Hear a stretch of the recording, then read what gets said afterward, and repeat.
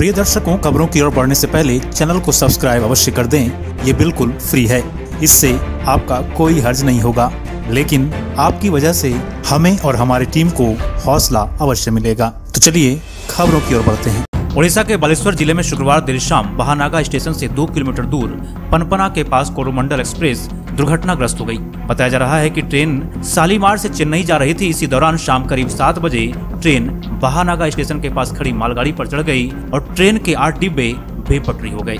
अनुमान है कि हादसे में कई यात्रियों की जान चली गई है और सैकड़ों यात्री घायल हो गए हैं। दुर्घटना के बाद बचाव कार्य जारी है।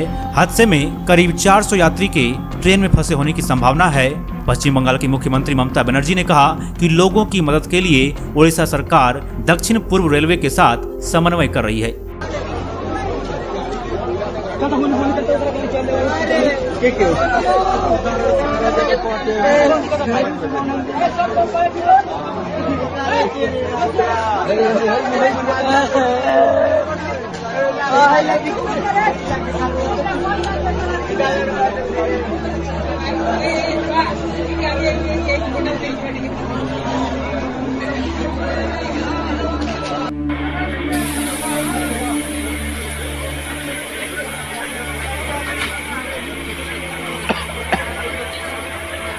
सब ठीक है मिला तो?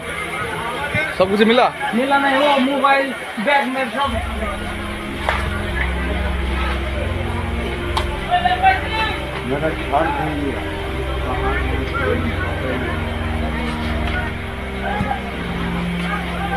है, गेटी मारेगा पत्थर पत्थर पत्थर पड़ेगा पत्थर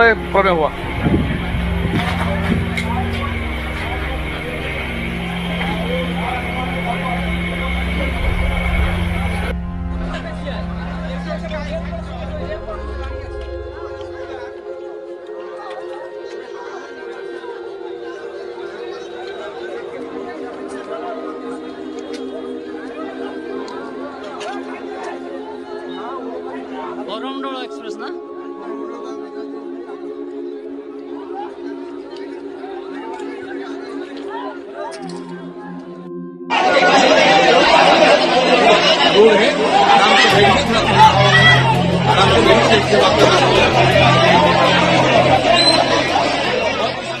इसके इसके साथ अन्य खबरों से जुड़े रहने के लिए कृपया चैनल को सब्सक्राइब, लाइक एवं शेयर अवश्य करें। धन्यवाद।